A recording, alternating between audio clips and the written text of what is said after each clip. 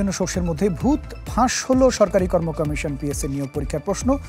শুক্রবার রেলওয়ের পাঁচশো ষোলোটি পদের নিয়োগ পরীক্ষায় এই ঘটনাটি ঘটেছে। এই বিষয়ে আপনাদের আরও আপডেট জানাতে চাই। কানাডা থেকে যুক্ত হচ্ছেন আমাদের সহকর্মী আবদুল্লাল ইমরান। ইমরান আমরা বিরতির আগে যে বিষয়টি বলছিলাম যে রিপোর্টে যেই চক্রের কথা আমরা জেনেছি আপনার প্রতিবেদনে, এই চক্রের বিস্তৃতি আসলে কত দূর পর্যন্ত? ধন্যবাদ আপনাকে। এই চক্রের বিস্তৃতিতে আসলে আপনারা জানেন যে চ্যানেল টোয়েন্টি ফোর প্রশ্ন ফাঁস নিয়ে দীর্ঘদিন ধরে কাজ করে। আমরা ঢাকা বিশ্ববিদ্যালয়ের প্রশ্নপত্র ফাঁস অনুসন্ধান দিয়ে এই চক্রের সম্পর্কে ধীরে ধীরে জানতে শুরু করি, সেটা দু হাজার সতেরো সালে।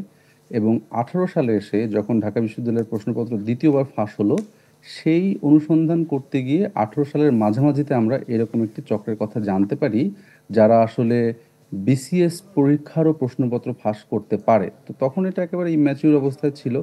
তো সেইটিকে ধীরে ধীরে যখন ম্যাচিউর করতে যাওয়া হয় এবং সময় লাগে, অনেক সময় লেগে যায়, তো তখন জানা যায় যে আসলে আমরা জানতে পারি যে এই চক্রের বিস্তৃতি মানে বহুদূর এবং দীর্ঘদিন ধরে এই কাজটি করে এসেছে চক্রটি এবং একের পর এক প্রত্যেকটি কম বেশি পরীক্ষায় সবসময় তারা চেষ্টা করেছে কখনো সফল হয়েছে কখনো কখনো হয়তো সফল হয়নি কিন্তু এই চক্রকে থামানো যায়নি।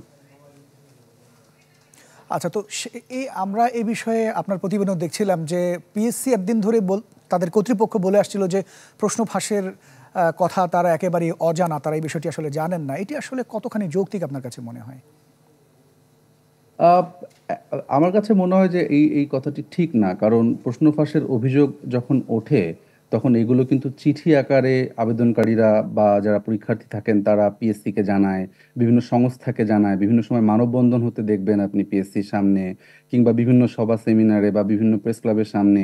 আমরা দেখি বিভিন্ন সময় এই ধরনের অভিযোগ ওঠে এবং শিক্ষার্থীদের যতটুকু সামর্থ্য আছে সেইগুলো দিয়ে কিন্তু তারা এই সংকটের কথা যথাযথ জায়গায় পৌঁছানোর চেষ্টা করে। কিন্তু সমস্যা যেটি হয় যে আমাদের সোসাইটিতে একটা ডিনায়াল একটা ব্যাপার আছে যে যে কোনো কিছু ঘটলে সেটিকে অস্বীকার করা।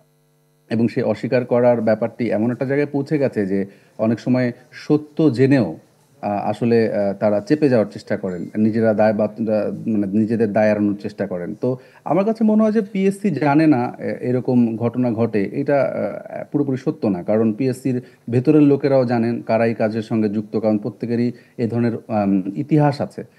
এই যে ধরেন যে ড্রাইভার বা ধরেন যারা এটার সঙ্গে যুক্ত খলিল বা অন্যান্য যারাই আছে না কেন যাদের নাম পাওয়া যাচ্ছে আভাস পাওয়া যাচ্ছে তো সেই মানুষগুলোর তো আসলে ইতিহাস ঘাটলে দেখা যায় তারা এর আগে এই ধরনের ঘটনায় গ্রেপ্তার পর্যন্ত হয়েছেন প্রশ্ন ফাঁসের ঘটনায়। তাহলে আসলে পিএসসি এই ধরনের লোকজনকে আসলে অ্যাক্সেস দেবে কেন? বা তারা চাকরিতে বহাল থাকবে কীভাবে? এই ব্যাপারগুলো আমার মনে হয় খুব স্ট্রংলি তাদের এখন দেখভাল করার সুযোগ এসছে এবং দীর্ঘদিন একই জায়গায় একই পদে থাকা একই ধরনের চক্র গড়ে তুলতে আসলে একটা পরিবেশ দেয় সুন্দর। ইমরান তো এই যে কাজগুলো করছিলেন দুহাজার সতেরো সাল থেকে শুরু হয়েছিল বলছিলেন যে তো কি ধরনের চ্যালেঞ্জের সম্মুখীন হয়েছেন? এবং এই যে একটা বাণিজ্য এই বাণিজ্যটার পরিমাণটা আসলে কতখানি? এটা তো আপনি আসলে একটু যদি হিসাব করেন এই বাজারে আপনি যদি একটু ডার্ক ওয়েভে যেমন মানুষ সার্চ করে আপনি যদি একটু অফ দ্য রেকর্ডে সার্চ করেন চাকরি যে কোনো চাকরি দশ বারো পনেরো লাখ টাকায় বিক্রি হয় শোনা যায় আমরা চারপাশে এরকম শুনি। ভালো চাকরি হলে বিশ লাখ পঁচিশ লাখ। তো আপনি যদি দেখেন যে এই চাকরিগুলো পনেরো ষোলো আঠারো বিশ লাখ টাকা পর্যন্ত এই দালাল চক্র মার্কেট থেকে তুলেছে। তো আপনি যদি গড়ে পনেরো লাখ টাকা করেও ধরেন এবং এই পাঁচশো ষোলোটি পদ তো পাঁচশো ষোলোটি পদকে যদি আপনি পনেরো লাখ টাকা দিয়ে গুণ দেন একটা বিপুল অঙ্কের টাকা দাঁড়ায়। ষাট, সত্তর, আশি, নব্বই কোটি, একশো কোটি টাকার মতো হয়। তো সেখানে যদি তারা কিছু টাকা, দুই, চার, পাঁচ কোটি টাকা ইনভেস্ট করে এই প্রশ্নটা বাইরে বের করতে পারে এবং তারা যদি এই প্রশ্নটিকে প্রপার ওয়েতে বিক্রি করে সবগুলো পথ তারা নিয়ে নিতে পারে, তাহলে তো একটা একটা পরীক্ষা দিয়েই পঞ্চাশ, ষাট, একশো কোটি টাকা আয় হয়ে যাচ্ছে। একটা পরীক্ষা দিয়ে। এরকম কর্ম কমিশনের পরীক্ষার সংখ্যা কত আপনি গোনেন? প্রত্যেকটা সপ্তাহে তাদের পরীক্ষা থাকে, কোনো না কোনো মন্ত্রণালয় কোনো না কোনো দপ্তরে সো এই জিনিসগুলো বিপুল বিশাল বাজার। আহ, এইটার মার্কেটটা অনেক বড়। এবং আপনি এই যে কাজগুলো করেছিলেন কি ধরনের চ্যালেঞ্জের সম্মুখীন হয়েছেন একটু জানতে চাইব? কি কি ধরনের চ্যালেঞ্জ ছিল আপনার কাছে?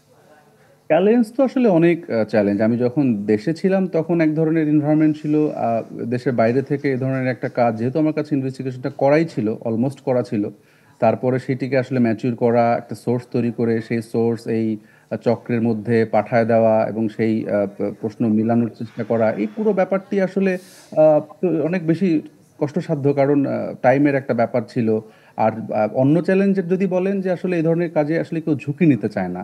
কারণ আপনি জানেন যে এই চক্রগুলোর সঙ্গে যারা জড়িত থাকে, তাদের কাঁচা টাকা যেমন আছে, তেমনি এরা যাদেরকে চাকরি দিয়েছে, তাদেরও তো শিকড় গজিয়ে গেছে। তারা তো চাইবে না এতদিন পরে এসে তাদের নামগুলো বাইরে আসুক এবং তারা একটা অপ্রীতিকর পরিস্থিতির মধ্যে পড়ুক। ফলে তারা কিন্তু আসলে ভীষণ রকম মানে বাজে পরিস্থিতির মধ্যেই পড়বে।